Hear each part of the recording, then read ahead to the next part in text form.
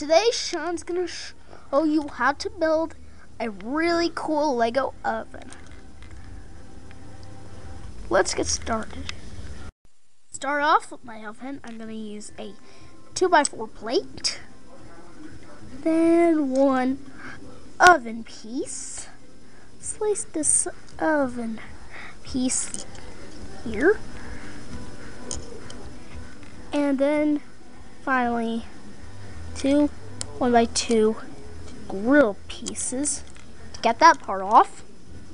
And the uh, one gold stud round plate.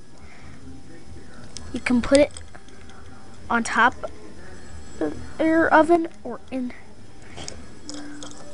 inside your oven. This tutorial, that's how you build a Lego oven.